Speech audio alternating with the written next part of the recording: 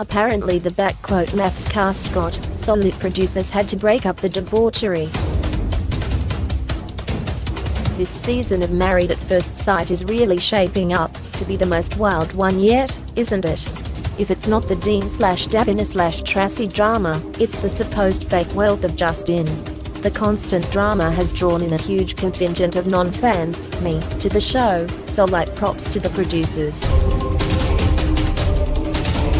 Speaking of, the producers of the show are front and center in the latest goss from the set.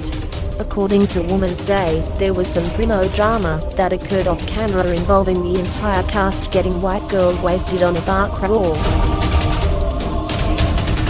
That wouldn't normally be news, hello, that was my entire weekend, however it's what happened after the alleged drunken mayhem that really makes this yarn spicy. See, what started as a boozy night out apparently turned back quote to X-rated back quote for TV.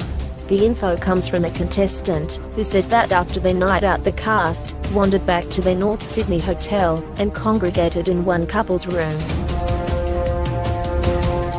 According to the contestant spilling the beans, the guy whose room it was opened the door shit-faced, and his wife was back quote in the next room in bed naked with another husband.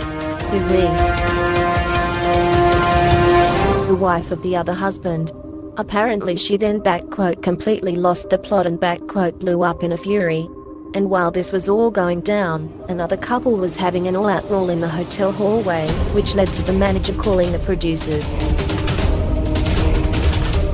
None of the contestants involved were named, but it all sounds pretty A, plausible and B, insanely wild. He is hoping this spicy night gets at least some coverage in an upcoming episode.